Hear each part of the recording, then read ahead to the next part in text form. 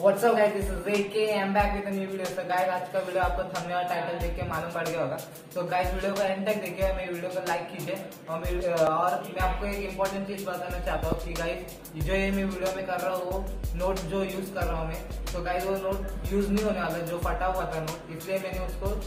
इस art work के लिए यूज़ किया इसलिए मैं आपको बता रहा हूँ किसी भी नोट पे यूज़ मत कीजिए।